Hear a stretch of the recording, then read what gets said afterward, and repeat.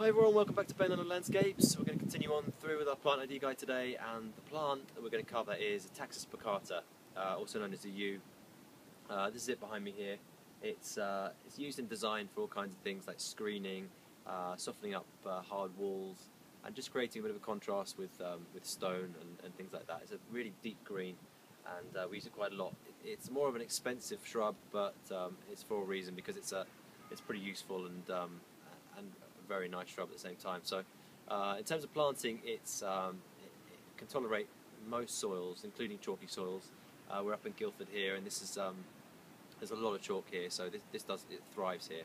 Um, as you can see, it's pretty it's all around the garden here as well. But um, yeah, it's a it, planting wise, I would dig a dig a deep hole, uh, deep enough and wide enough so that the laterals can spread out.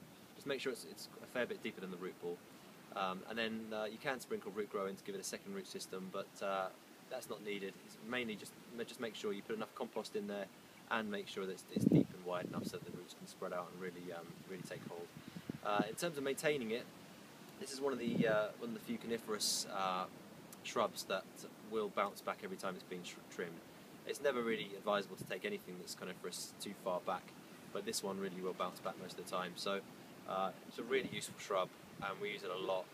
Um, and yeah, other than that, there's not too much more to say about it. If there are holes in between it, don't worry too much. You can either plant another one in between there, or um, it will, if you, if you cut it down from the top, trim it at the top, uh, it'll thicken out. As with most shrubs, it'll thicken out from the sides. So if you trim it at the sides, it'll thicken out at the top.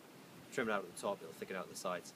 Um, and other than that, it's, it's, a pretty straightforward shrub. Just make sure you give it enough water when it's establishing, and uh, it should give you, um, it should be uh, settled in year after year and give you a, a nice looking shrub. Um, you can also use it for topiary as well. So um, hope that helps. I'll uh, see you again next time. Thanks a lot. Bye.